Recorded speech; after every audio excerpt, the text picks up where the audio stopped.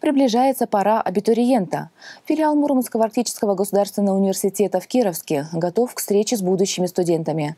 Приемная кампания стартует 1 июня.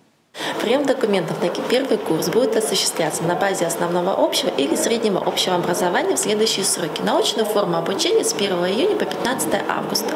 На заочную форму обучения с 1 июня по 25 ноября текущего года. Абитуриенты могут подать заявление на несколько специальностей. При себе э, они должны будут иметь следующий пакет документов. Это паспорт, документ об образовании, 4 фотографии, размером 3 на 4 медицинскую справочку на следующие специальности. Это подземная разработка месторождения полезных ископаемых и электроснабжение. И еще ряд изменений, о которых абитуриентам следует знать. С этого года в приемную комиссию можно предоставить портфолио. Теперь это может стать голосом в вашу пользу при поступлении на бюджет. Число мест ограничено.